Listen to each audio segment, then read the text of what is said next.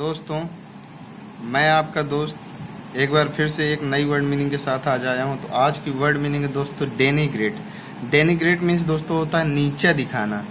नीचा दिखाना और इसके सिनोनिम्स है। आज मैं दोस्तों इसके सामने एक लिख दिया हूँ कि सिमिलर वर्ड्स मतलब सिनोनिम्स इनका मतलब भी सेम होता है। तो सिनोनिम्स इनके दोस्तों disparage deprecate decry criticise antonyms दोस्तों मतलब अपोजिट वर्ड मान लो कि नीचे दिखाने का अपोजिट वर्ड क्या होगा? कॉम्प्लीमेंट मीन्स तारीफ़ करना। तो इसके अपोजिट वर्ड है दोस्तों compliment praise extol boast example है दोस्तों इस वर्ड मीनिंग का।